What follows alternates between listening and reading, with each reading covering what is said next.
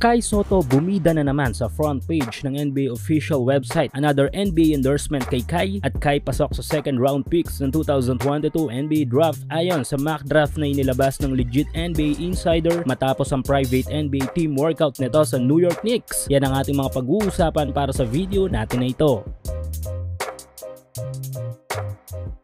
Wala nang isang buwan bago sumapit ang pinakahihintay ng lahat even nating mga Filipino basketball fans. Ito nga yung 2022 NBA Draft. Dahil ngayon sa pagsama ng ating pambato na si Kai Soto at ilan nating mga Pinoy-blooded kababayan sa batch na ito ng NBA Draft. Sa ngayon ay 3 Filipino-blooded players ang official ng kasama sa 2022 NBA Draft. Kasama na nga dito si na Kai Soto, Ron Harper Jr. at Boogie Ellis. Habang si Remy Martin ay hindi kumpirmado kung sasalang na rin sa draft dahil sa kakulangan ng impormasyon sa desisyon nito after nilang magkampiyon sa 2022 US NCAA season. Sa paglabas ng ilang series of mock draft ngayong taon ay malimit ay wala o labas sa top 100 prospect ang pangalan ni Kai mula sa iba't ibang bersyon ng mga mock draft site. Ngunit nito lang wala pang isang araw sa inilabas na mock draft list ng kilalang legit NBA insider at reporter na si Brett Siegel. Sa inirelease na listahan ni Siegel sa SI.com ay makikita ang tila nakakagulat na bersyon nito ng 2022 NBA mock draft list dahil marami nga mga pang pangalan na nawala kung ikukumpara sa ilang mock draft na ating sinusubaybayan sa mga ibang website. Especially sa mga panahong ito kung saan ay kasalukuyang isinasagawa ang iba't ibang mga private workouts ng mga kupunan. Bad news para sa mga Korean basketball fans dahil wala sa version ng mock draft na ito ni Siegel ang kanilang prospect na si Yoon Jong Lee na sumailalim sa 2022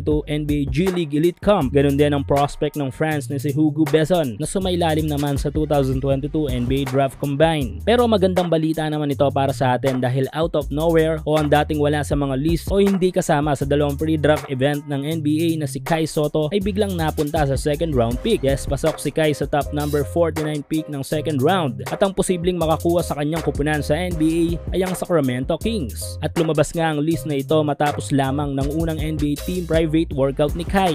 Samantala, another good news pa tayo. Muli na namang naglabas ng article ang isa sa pinaka-powerful sports website sa buong mundo na NBA.com at sa pangatlong pagkakataon ngayon ay front page na naman ang ating kababayan. Sa mismong website ng NBA ay tinalakay ang pre-draft updates ni Kai bago ang 2022 NBA Draft. Dito ay na-featured ang exclusive interview ni Kai sa kanya ng mga batikang sports reporter na si Gretchen at si Sir Kinito Henson na inyo ding napanood dito sa ating channel. Yes, tila nga muling pinapaingay ng mismong NBA ang pangalan ni Kai sa paglabas ng panibago at pangatlong article sa kanilang mismong website. Kasama ni Kai sa front page ng NBA website sina Giannis Antetokounmpo at si Andrew Wiggins ng Golden State Warriors. Dagdag lamang sa mga patunay ang dalawang updates na ito ngayon sa ating video sa paglinaw ng pangarap nating mga Filipino at ating pambato na si Kai Soto. Ito nga yung makapasok sa 2022 NBA Draft. Malayo na ang narating ni Kai even. Ang narating na din ng ating suporta kung kaya't walang dahilan upang hindi magpatuloy sa pagsuporta sa ating pambato mga ka-hoops.